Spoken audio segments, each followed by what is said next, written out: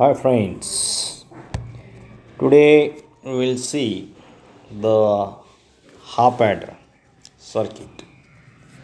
So first of all, we will see what is mean by a half adder.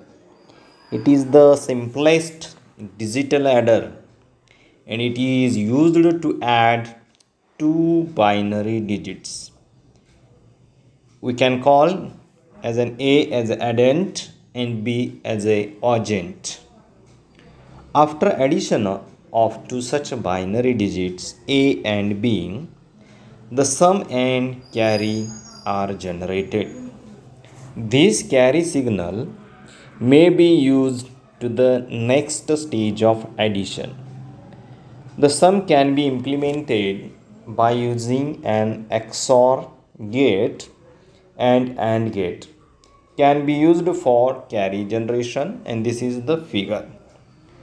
This figure shows the implementation of the sum and carry functions using XOR and AND gate and this figure shows the implementing implementation using AND and OR gates.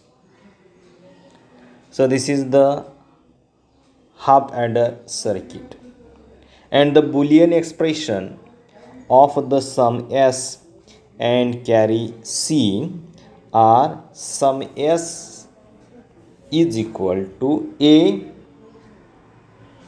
plus b is equal to what? A b bar, uh, b bar plus a bar b and carry c.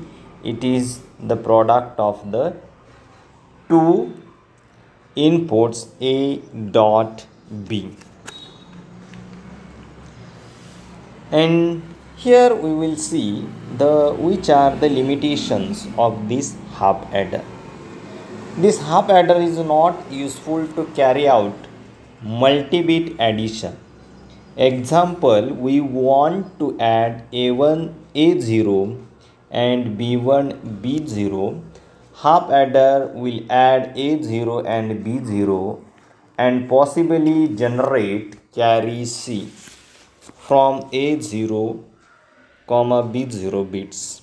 But in next stage we need to add A1, B1, C1 which is not possible using half adder which needs three single bit adder circuit called a full adder. So this is the limitation of a half adder. Now we give some inputs to this uh, half adder circuit.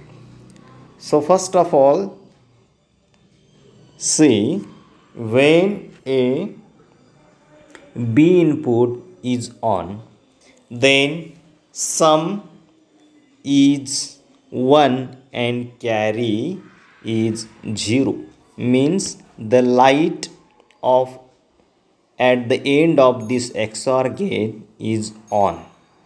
And at the end of AND gate it is a 0 okay? Next one.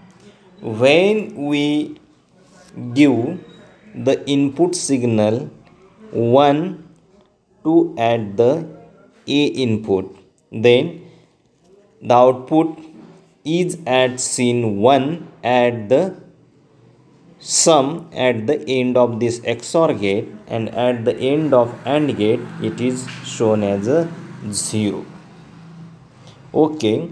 And when the both the inputs of these XOR and AND gates means when we give the two inputs are 1 at that time at the end of XOR gate the sum shows a 0 and at the end of AND gate means that carry it is the product of two input gates A and B are always 1 and it means that when both the inputs of this half adder are 1 at that time the sum is 0 and carry is 1